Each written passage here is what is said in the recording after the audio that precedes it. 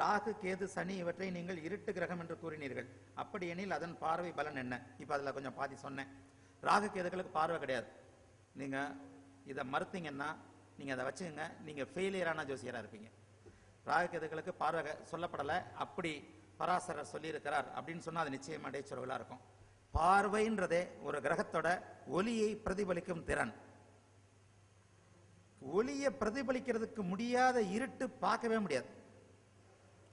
ராகு கேதுக்கு இன்னொரு பாயிண்ட் சொல்லிடுறேன். ராகு கேது மூணு பதினொன்னுல பார்த்தாங்கன்னு சொன்னா ராகு கேதுக்களும் அதுக்கு முன்னாடி பார்வைன்னா என்னன்னு சொல்லிடுறேன். அதாவது இதை இதை புரிஞ்சுக்கிறதுக்கு முன்னாடி பார்வையை சொன்னால் கொஞ்சம் விரிவாக கொஞ்சம் தெளிவாக புரியும். குருவுக்கு அஞ்சு ஏழு ஒம்பது இவருக்கு ஏழு எட்டு. ஏழை விட்டுட்டா கூட ஒன்று நாலு ஏ- நாலு ஏழு எட்டு. சனிக்கு மூணு ஏழு பத்து. இந்த கேந்திர கேந்திரத்தில் பலம் பலம் கேந்திரத்தில் இருக்கணும்னு சொல்ற கிரகங்கள் கேந்திரங்களை பார்க்கும். பாப கிரகங்கள் கேந்திரங்களை பார்க்கும். அதாவது எட்டு பத்து. பத்தாம் பாவத்தையும் பத்தாம் பாவத்தை சனியும் நாலாம் பாவத்தை செவ்வாயும் பார்க்கும். அதுக்கு அந்தந்த கேந்திரங்கள் தான் காரணம். சுப கிரகம் திரிகோணத்துல வலுவா இருக்கணுன்றதுக்கு குரு அஞ்சு ஒம்போதை பார்க்கறது காரணம். ஒரு பார்வை அப்படின்னு சொன்னா பிரதிபலிக்கிற தன்மை. சனிக்கு ஏற்கனவே நான் சொன்னேன் அந்த பிரதிபலிக்கிற தன்மை இல்லை அப்படின்னு சொல்லிட்டு. பிரதிபலிக்கிற தன்மை இல்லை அப்படின்றதுனால அதோடைய பாவம் அதோடைய அதாவது பிரதிபலிக்கிற தன்மை முழுக்க இல்லை. இதை வந்து கிரக கலா பரிமாணம்ன்ற பேரில் உத்தர காலாமிரத்தில் காளிதாசர் சொல்றார். கிரக கலா பரிமாணம்ன்றது இப்போ நான் சொல்ற கருத்துக்கள்லாம் எதுவுமே மூலத்திலிருந்து மகரிஷிகள் சொன்னது தான் நம்மளா எதுவும் கண்டுபிடிக்க முடியாது புதுசா. அதெல்லாம் சும்மா பேச்சு. நான் தான் கண்டுபிடிச்சேன்னு சொன்னா அதுக்கு அதுக்கு எந்த எந்த ஒரு ஜோசியரையும் நான் உள்பட யாரும் ஒத்துக்க மாட்டேன். கிரக கலா பரிமாணம்னு சொல்லிட்டு ஒரு அற்புதமான சப்ஜெக்ட் உத்தர காலாமிரத்தில் இவர் சொல்றார். இது வந்து இந்து லக்கணத்தை பேஸ் பண்ணது. சில நேரங்களில் இந்த இந்து லக்கணம் ஜோசியரங்களை குழப்பிடும். ஒரு ஒரு ஒரு ஒரு தசை நல்லா இல்லை நல்லா இருக்காதுன்ற அமைப்பில் நம்ம அவனுக்கு இவன் இது நல்லாவே இருக்காதான்னு சொல்லிடுவோம். ஆனால் அந்த திசையில் அந்த அந்த ஜாதகர் மிக நல்லா இருப்பார். அதற்கு முக்கியமான காரணம் இந்து லக்கணம். இந்து லக்கணம்ன்றதுக்கு உத்- உத்தர கலாமரத்தில் அவர் ஒரு ஒரு பேசிக் சொல்லியிருக்கிறார். ஒவ்வொரு கிரகத்துக்கும் நம்பர் கொடுத்துருக்கிறார். நம்பர் கொடுத்தா சூரியனுக்கு முப்பது சந்திரனுக்கு பதினாறு சுக்கிரனுக்கு பன்னெண்டு சுக்கிரனுக்கு பன்னெண்டு புதனுக்கு எட்டு குருவுக்கு பத்து செவ்வாய்க்கு ஆறு சனிக்கு ஒன்று இப்படின்னு நம்பர் கொடுத்துருக்கிறார். இந்த கிரக கலா பரிமாணம்னு சொன்னால் கிரகங்களோட கதிர் அளவுன்னு அர்த்தம். கிரகத்தோட ஒளி அளவுன்னு அர்த்தம். எப்படி வந்து அதை வந்து இன்னைக்கு நானோ மீட்டர் வரைக்கும் இது வச்சு அளவெடுத்து இன்னைக்கு பார்க்குற ஒரு இதில் வந்து மகரிஷி காளிதாசர் வந்து இதை எப்படி அளவெடுத்தார் அப்படின்ற மூல அமைப்புகள் இல்லை. அதில் ஒரு பாயிண்ட் பார்த்தீங்கன்னா சூரியனுக்கு முப்பதுன்னு கொடுப்பார். சனிக்கு ஒன்றுன்னு கொடுப்பார். சூரியன் தான் ஹையஸ்ட்டு சனி தான் ஒன்று. இதுலேயே இந்த பாபக்கிரக அமைப்பு வந்துடுது. சூரியனுக்கு முப்பது சனிக்கு ஒன்று. இந்த சூரியனுடைய நம்பரை மட்டும் இது இது- இதில் இதில் இந்து லக்னம் எப்படி சொல்லுவார்னா ஒரு லக்னத்திற்கு ஒன்பதுக்குடையவர் எண்ணையும் ராசிக்கு ஒன்பதுக்குடையவர் எண்ணையும் கூட்டி அதாவது ரெண்டும் நவகிரகம் பன்னெண்டு ராசி பன்னெண்டால் வகுத்தா வர்ற எண்ணெய் மீத எண்ணெய் ராசியிலிருந்து என்ன வர்றது இந்து லக்னம். இந்த இந்து லக்னத்தில் இருக்கிறவங்க இருக்கிற கிரகம் மிகப்பெரிய நன்மை செய்யும். என்னுடைய இத்தனை வருஷ அனுபவத்தில் ஒரு ஜாதகமாவது இந்து லக்கணத்தில் கஷ்டப்பட்டிருக்கிறானா அப்படின்னு பார்த்தா அதுதான் மகரிஷி ஒரு தெய்வாம்சம் பொருந்திய ஞானின்றது. ஒரு ஜாதகம் கூட என்னால் இது வரைக்கும் பார்க்க முடியல. என்னுடைய அனுபவத்தில் ஆராய்ச்சிக்குன்னு மட்டும் ஒரு பத்தாயிரம் ஜாதகம் பார்த்துருப்பேன். இப்போ கமர்ஷியலாக பார்க்க வந்ததுக்கப்புறம் நான் தினசரி பார்க்குற ஜாதகங்களுக்கு அளவே இல்லை. என்னைக்காவது ஒரு நாள் இந்து லக்கணம்னு ஒன்று வந்து அந்த இந்து லக்கணத்தில் ஒரு தசனை இருந்து இந்த தசையில் நான் கஷ்டப்பட்டேன்னு ஒருத்தன் வந்து மாட்டுவான்னு பார்த்தா இல்லவே இல்லை. இப்பேற்பட்ட ஒரு அற்புதமான ஒரு இதை வந்து எப்படி கண்டுபிடிச்சாரு அவர் காளிதாசர்? இது வந்து இந்த கிரககலா பரிமாணன்றது எவ்வளோ பெரிய இந்த இந்து லக்கண சப்ஜெக்டை வந்து ஒவ்வொரு ஜோதிடரும் கண்டிப்பாக தெரிஞ்சுக்கணும். சில நேரங்களில் இந்து லக்கணம் குழப்பிடும். இந்து லக்கணம் மிக மிக மாறாத ஒன்று லக்னத்திற்கு ஒன்பதாம் வீட்டு எண்ணையும் ராசிக்கு ஒன்பதாம் அதிபருடைய எண்ணையும் கூட்டி பனிரெண்டால வகுத்து மீதம் வர்ற எண்ணெய் ராசியிலிருந்து என்னன்னா வர்றது தான் இந்து லக்னம். அந்த இந்து லக்னத்தில் இருக்கிற கிரகம் வந்து மிகப்பெரிய நல்ல பலன்களை செய்யும். எந்த கிரகமாக இருந்தாலும். இந்து லக்கணத்துல சுப கிரகங்கள் ஆட்சி உச்சமாக இருந்தால் அற்புதமான கோடீஸ்வர யோகத்தை கொடுக்கும். பாப கிரகங்கள் இருந்தாலும் கோடீஸ்வரனாக இருக்கும். இன்னைக்கு இந்த ஒரு இவரோட ஜாதகம் கூட ஒரு இதில் எழுதியிருந்தேன். ஒரு மிகப்பெரிய தன்னுடைய சொத்து மதிப்பு இருபதனாயிரம் கோடின்னு டிக்ளேர் பண்ண ஒரு மகா பெரிய கோடீஸ்வரருடைய ஜாதகத்தில் சனி நீசம் அது இந்து லக்னம். அப்புறம் இன்னொரு பாயிண்ட்டு திருப்பூர் பாபு சாரை வந்து பாராட்டினல இப்போ ஒரு பாயிண்ட்டை மறுக்கிறேன். மேஷத்தில் சனி இருந்தால் மூட்டு வலினார் அது அப்ஜெக்ஷன் அது தப்பு அது. மேஷத்தில் சனி இருந்தால் பத்து நிமிஷம் நிற்க முடியாதுன்னாரு. அதுக்கான ஏகப்பட்ட ஆதாரங்களை என்னால் கொடுக்க முடியும். அது அவர் சொன்னது தப்பு. இந்த ராகு கேதுக்களுக்கு கிடையாது. அதாவது மூணாம் பார்வை ஏழாம் பார்வை. மூணாம் பார்வை ஏ- ராகு கேதுக்கள் எதுக்கு வந்தேன்னா ராகு கேதுக்கள் மூணு பதினொன்று கிரகத்துக்கு பார்வைன்னு சொன்னோம்னா கிரகங்களையே மகா சுபரான குரு மட்டுமே ஒரே நேரத்தில் சரராசியும் ஸ்திரராசியும் உபரா உபயராசியும் பார்ப்பார். இந்த பாயிண்ட்டை புரிஞ்சுக்கோங்க. குரு பகவான் மட்டுமே தன்னுடைய வீட்டில் எந்த வீட்டில் இருந்தாலும் தன்னுடைய அஞ்சு ஏழு ஒன்பது பார்வைகளால் ஒரு சரராசியும் ஒரு உபயராசியும் ஒரு ஸ்திரராசியும் ஒரே நேரத்துல பார்ப்பார். இந்த பார்வை பலம் வேற எந்த கிரகத்துக்கும் கிடையாது. இதனால தான் அவரை நம்ம முதன்மை சுவர்னு சொல்றோம். இப்படி பருப்பொருளுடைய கண்ணுக்கு தெரியக்கூடிய நம்முடைய தலைவிதியை மாற்றக்கூடிய ஒரு சுப கிரகத்துக்கு இருக்கிற ஒரு அந்தஸ்தை நீங்க ராகு கேதுக்களுக்கு மூணு ஏழு பதினொன்னு பார்வை இருக்குன்னு ஒத்துக்கிட்டீங்கன்னா அந்த ராகு கேதுக்களும் குருவுக்கு நிகராக சரம் ஸ்திரம் உபயம் மூணு ராசியும் பார்க்கும். இது மாதிரி அபத்தம் வேற எதுவுமே கிடையாது. குருவுக்கு ஈக்குவலா கொண்டு போய் ராகுவை சேர்த்தா அது மாதிரி இது கிடையாது. இந்த பாயிண்ட்னாலே ராகு எதுகளுக்கு இது கிடையாது. ஆறாம் அடுத்த கேள்வி. ஆறாம் பாவம் நோய் எதிரி கடன் எனில் இதில் எது ஜாதகரை பாதிக்கும்? நோயா எதிரியா கடனா? எவ்வாறு கணக்கிடுவது? அதுக்கு தான் நீங்க ஜோசியரா இருக்கிறீங்க. அதுக்கு தான் நீங்க ஜோசியராக இருக்கீங்க யாரு சரணன் சோமசுந்தரம்? அதுக்கு தான் நீங்க ஜோசியர். ஆறாம் பாவம் நோய் எதிரி கடன் எனில் இதில் எது ஜாதகரை பாதிக்கும்? நோயா எதிரியா? சுருக்கமா ஒன்று சொல்றேன். குழந்தையா இருந்தா குழந்தை கடன் வாங்காது நோயில பாதிக்கும். குழந்தை கடன் வாங்காது எதிரிகளை சம்பாதிக்காது. குழந்தைக்கு ஆறாம் பாவம் நடந்தா அது போய் கடன் கடன் கடன் தொழில ஊற விட்டு ஓடி போகணும்னு சொல்ல முடியுமா? சொல்ல முடியாது. அனுபவம் காலம் நேரம் யுக்தின்றது இங்கே தான் வரணும். குழந்தைக்கு ஆறாம் பாவம் நோயை கொடுக்கும். ஹவுஸ் ஒய்ஃப் தொழில் செய்யாத பெண்களுக்கு ஆரம்பாவம் கடன் நோயை கொடுக்காது. ஏன்னா அவங்களுக்கு தொழிலுக்கும் கடன் வாங்குறதுக்கு சம்பந்தமே இல்லையே. அவங்களுக்கும் பெண்களுக்கே உரியதான வியாதிகளை கொடுக்கும். ஆணுக்கு வலிமை வாய்ந்த அவனை பார்த்து சொல்லுங்க. அது அதாவது எல்லாத்துலேயுமே நம்ம ரிஷியாயிட முடியாது. நம்ம ஒன்றும் பராசரம் கிடையாது. வந்திருக்கிறவன் நல்ல ஆள் வாட்ட இருந்தானா கடன் தொழில அவஸ்தப்படுறான்னு சொல்லுங்க. நோஞ்சானா இருந்தானா நோயா இருக்குன்னு சொல்லுங்க. இவ்வளோதான் கர- இதை கூட இதை கூட இதை கூட சொல்லி தரணும் அது அதுதான் ஒரு இது. ஒருத்தர் அதே நேரத்தில் ஆளை பார்த்து மயங்கிறாதீங்க. ஒருத்தர் வந்து என்கிட்ட வந்து பிஎம்டபிள்யூ காரில் வந்து இறங்கினார். அதாவது அவர் போட்டிருந்த ஓ- சட்டை பேண்ட்டே கிட்டத்தட்ட ஒரு 50000 ரூபாய் இருக்கும். அவ்வளோ பெரிய மோதிரம் கதிரம் காரு ஆஃபீஸ்க்குள்ளே வர்றதுக்குள்ளே ஒரு பெரிய பந்தா ஒன்றரை கோடி ரூபா காரு. ஆள் வந்து உட்காந்த விதம் அவருக்கு சேர உள்ள வந்து ஒரு பத்து பேர் இழுத்து போட்ட விதம். அதை பார்த்தோன்னே பெரிய அதாவது என்ன முப்பது காலேஜோ என்னமோ நடத்துறேன்னாரு. மெடிக்கல் காலேஜ் எல்லாம் நடத்துறேன்னாரு. ஆளுடைய அந்த அந்த பந்தாவெல்லாம் பார்க்கும்போது யாரா இருந்தாலும் ஐயோ குபேரனுக்கு மருமகனே வந்து உட்காந்துட்டான் தான் சொல்லுவாங்க.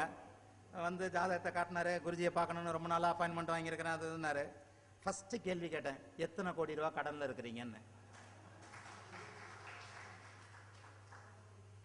உங்க எல்லாத்துக்கும் சொல்றேன் அப்படியே கண்ணீர் விட்டு எழுதார் முன்ன பின்ன திரும்பி பார்த்து கதவை கரெக்டாக மூடி இருக்கான்னு தெரிஞ்சுக்கிட்டு கண்ணீர் விட்டு எழுதார் அந்த தப்பை என்றைக்குமே பண்ணிடாதீங்க.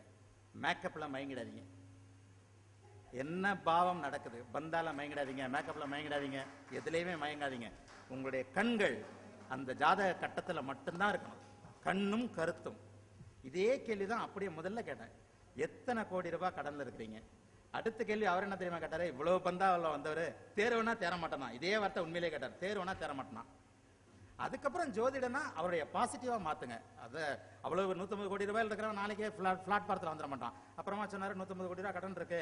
அசட் எல்லாம் வந்து வித்தா கூட அறுபது எழுபது கோடி ரூபாய் தேரும். இப்பதான் வேலைச்சேரிக்கு அதுக்கு தான் வந்தேன். வேலைச்சேரியில் ஒரு பாஞ்சு கோடி பாஞ்சு கிரவுண்ட் வச்சு போட்டிருக்கிறேன். அதை விற்கலாமா வேணாமா? எல்லாம் உங்கள்கிட்ட வந்து உங்க மாலை படித்து படிச்சு சரி நீங்க சொன்னா கரெக்டா இருக்கும் அப்படின்றதுக்காக வந்திருக்கிறேன். அதுக்கப்புறம் நீங்க அவரை தேத்தி அனுப்புங்க. அது அது வந்து இன்னொன்று எல்லாரும் தான் தப்பு பண்றீங்க. நீ இடையில ஒன்று சொல்லிடுறேன். எனக்கு நூறு ரூபாய கொடுத்துட்டு தட்சணையா கொடுத்துட்டு உனக்கு நான் கோடீஸ்வரன் ஆகணுமான்னு பலன் சொல்லணும்னு ஒரு ஜோசியர் நினைச்சிடவே கூடாது. அந்த தப்பை நிறைய ஜோசியர் பண்றீங்க. என்கிட்ட நூறு ரூபா கொடுத்துட்டு நீ கோடீஸ்வரனா என்னமா மனப்பூர்வமாக மனம் அப்படியே பூரிச்சு அடுத்த வருஷம் நீ கோடீஸ்வரையா? அப்படின்னு நீங்க உள் மனசுல இருந்து சொல்லுங்க. அவன் நிச்சயமா கோடீஸ்வரன் ஆவான். அதுதான் ஜோதிடரோட திறமை. அவன் உண்மையிலேயே நல்லா இருக்கணும்னு நீங்க நினைக்கணும். அப்பதான் அந்த வாக்கு பலிக்கும். அகமும் மனமும் முகமும் மலர்ந்து உண்மையிலேயே நீ நல்லா இருப்ப. இந்த இந்த கஷ்டம்லாம் சும்மா பேச்சு. அடுத்த வருஷம் இப்ப அஞ்சு கோடி ரூபா விட்டுருக்கிறியா? பதினஞ்சு கோடி ரூபா சம்பாதிப்பையா? எந்திரிச்சுப்பாயா? அப்படின்னு சொல்லுங்க அவன் நிச்சயமா பாஞ்சு கோடி ரூபா சம்பாதிப்பான். லண்டன்ல இருந்து ஒரு வருஷத்துக்கு முன்னாடி ஒரு வருஷம் ஒன்றரை வருஷத்துக்கு முன்னாடி எனக்கு ஒரு ஃபோனு குருஜி நீங்க ரொம்ப பெரிய ஆளு. காசெல்லாம் வேற அதிகமா வாங்குறீங்க கேள்விப்பட்டிருக்கேன். பிளாட்பாரத்தில் நிக்கிறேன். எனக்கு ஜோசியம் சொல்ல முடியுமா? முடியாதா? செத்து போகிறேன் இப்படி எனக்கு ரெண்டு மூணு கால் அப்பப்போ வரும். அவங்களுக்கு தான் நான் முதல்ல சொல்லுவேன். உள்ளூர்லேயே என்னால் ஐம்பது ரூபா தான் கொடுக்க முடியும். நீங்கள் பெரிய ஜோசியர்னு சொல்கிறாங்க அவ்வளோ வாங்குறீங்க எவ்வளோ வாங்குறீங்கன்றாங்க. நீங்கள் தாங்க உங்களுக்கு அப்பாயின்மெண்ட் தேவையில்ல காலில் மொதல் வாங்கன்னுவேன். வந்துட்டு குருஜி சொன்னாருன்னு நேராக உள்ளே வந்துருங்கன்னுவேன். ஐம்பது ரூபா கொடுக்க சொன்னதை தான் நான் முதல்ல பார்ப்பேன். இப்படி லண்டனில் சொல்லி அவருக்கு ஒரு மூணு நாலு தடவை சில கைட்னஸ் கொடுத்தேன். ஒரு நாள் எனக்கு மூணு லட்சம் ரூபாய் பணம் அக்கௌண்ட்ல டிரான்ஸ்ஃபர் ஆச்சு. யார் என்னன்னே தெரியாது. ஒன்றரை லட்சம் ரூபா மதிப்புள்ள என் குழந்தைங்களுக்கான கிஃப்ட் வந்துச்சு. அப்பவும் யாருன்னு தெரியல. மூணு லட்ச ரூபா அக்கௌண்ட்ல டிரான்ஸ்ஃபர் பண்ணாரு யாரும் தெரியாது. கிட்டத்தட்ட அஞ்சு லட்ச ரூபா. அப்புறமா ஒருத்தர் ஃபோன் பண்றாரு. எனக்கு சுத்தமா மறந்துட்டேன். இந்த சம்பவத்துக்கு அப்புறம் தான் அவர் சொன்னது ஞாபகம் வந்தது. மூணு தடவை வாழ்க்கையில சூசைட் பண்ண போனவன ஓசியில சொன்னீங்க பாருங்க. இன்னைக்கு நான் ரொம்ப பெரியால் இளம் தொழிலதிபர். பேரு அவருடைய பேரு ஆரணன். இளம் தொழிலதிபர் பட்டம் வாங்கியிருக்கிறேன் ஒன்றரை வருஷத்துக்கு முன்னாடி நான் அவங்ககிட்ட பேசினேன். பத்து காசு நீ என்கிட்ட கேட்கல. மூணு தடவை கேட்டேன். மூணு தடவையும் நீ எனக்கு முகம் சுளிக்காம கரெக்டான அஸ்ட்ராலஜி சொன்னேன் அப்ப நீ சொன்ன நீ பெரியாளா இருப்ப கோடீஸ்வரனா இருப்பேன்னு. நல்லா இருக்கிறேன் சீக்கிரம் வந்து பாக்குறேன் நான் தான் உங்களுக்கு அந்த மூணு தடவைக்கும் ஒரு லட்சம் ஒரு லட்சம் ஒரு லட்சம். ஃபீஸ்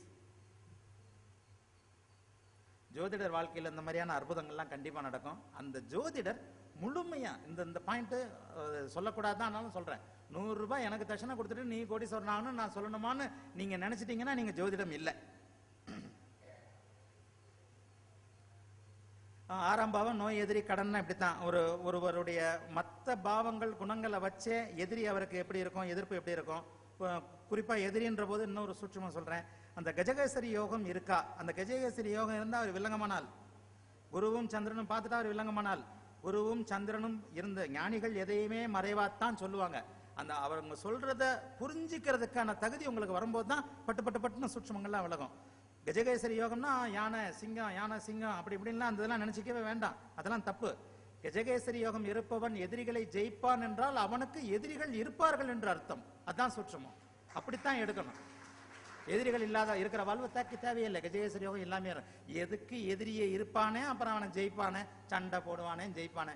எதுக்கு எதிரி இல்லாத வாழ்வோட போயிட்டு போங்க? இந்த கஜகேசரி யோகம் ஒருத்தனுக்கு இருக்குன்னா ஆறாம் பாவம் அவனுக்கு எதிரி பாவத்தை எதிரியோட செய்யும். நோயும் இருக்காது கடனும் இருக்காது. வலிமை வாய்ந்த எதிரி இருப்பார். கஜகேசரி யோகம்னா அதான் யானை சிங்கம்.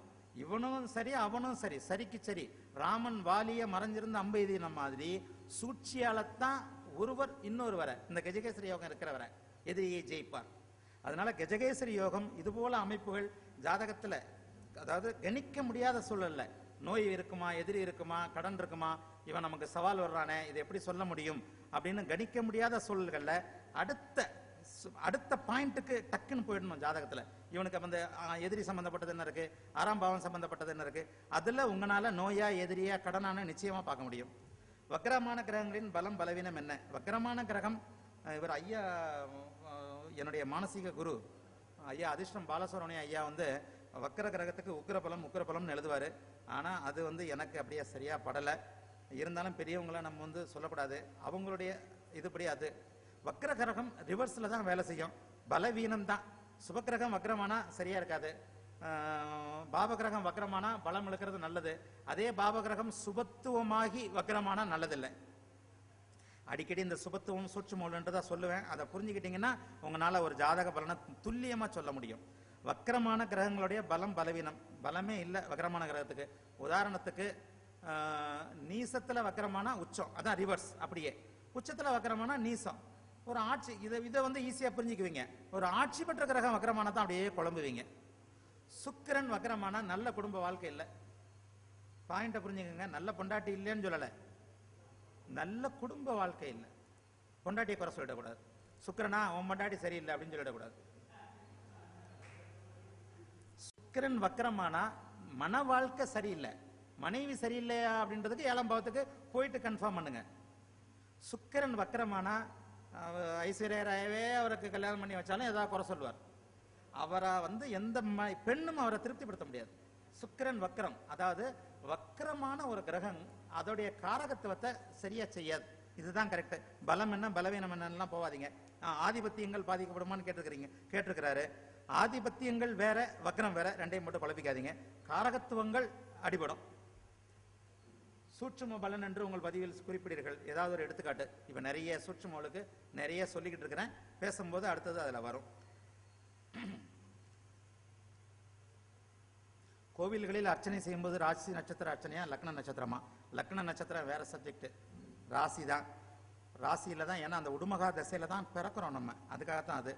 கோச்சாரம் என்பது சந்திர ராசிக்கா லக்ன ராசிக்கா.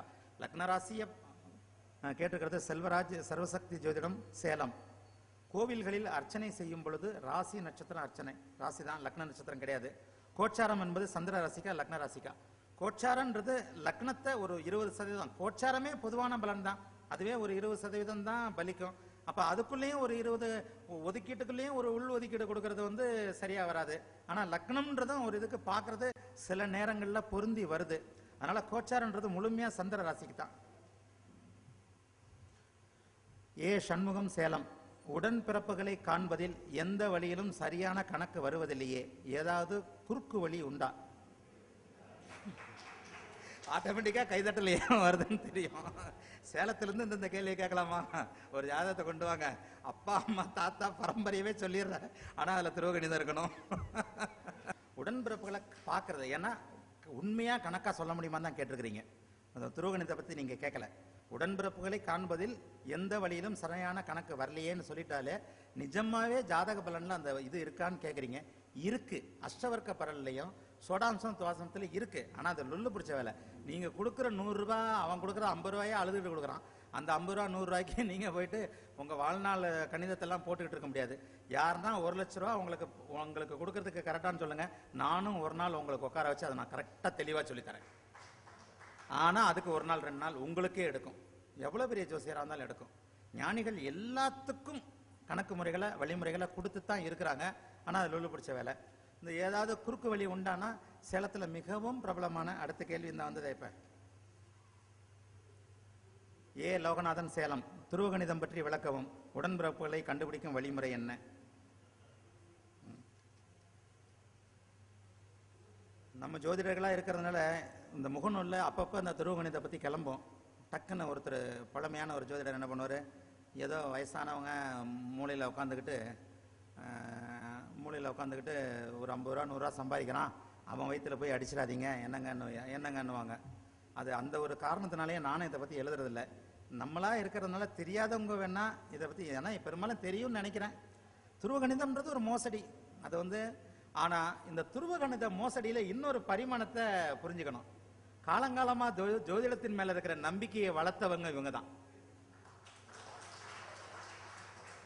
இந்த ஜோதிடத்தை கட்டி காத்து நம்ம கையில் ஒப்படைச்சது திருவகணிதம் வழியாத்தான் இந்த திருக்கணிதம் இந்த திருவகணிதம் மோசடின்னு பேசுற இந்த நபர்கிட்ட ஜோதிடத்தை பத்திரமா பாதுகாத்து கொடுத்தது அந்த மூலையில உட்காந்துக்கிட்டு இருக்கிற அந்த அப்பாவி திருவகணித ஜோதிடம் தான். அதற்காகவே அந்த திருவகணித ஜோதிடத்திற்கு நம்ம நன்றியும் சொல்லணும் அவரை தாழ்த்தி பேசக்கூடாது. ஆனா திருவகணிதம் எழுதுறது ஒரு வரமுறை வேணாமா?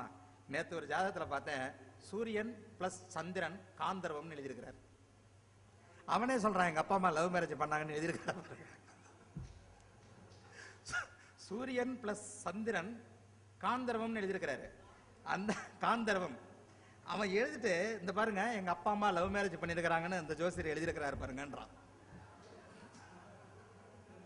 எங்க அப்பா குதிரைக்குள்ள இல்லைன்ட்டு இப்படியாங்க திருவகணிதம் எழுதுறதுலயும் இப்ப அதாவது தென் மாவட்டங்களில் பார்த்தீங்கன்னா பிளம் அப்படி இப்படின்னு ரவிசங்கரன் ஐயர் ஐயா வந்து கொஞ்சம் நல்லா போட்டிருந்தார். துருவகணிதத்தை பற்றி சமீபத்தில் ரவிசங்கர் ஐயாவுடைய ஃபேஸ்புக்கு அவருடைய பிருகுநந்தி ஜோதிடம் அதில் போனீங்கன்னா பின்னாடி ஒரு ஒரு மாதத்துக்கு பின்னாடி போனீங்கன்னா துருவகணிதத்தை பற்றி அவர் கொஞ்சம் தெளிவாகவே எழுதியிருந்தார்.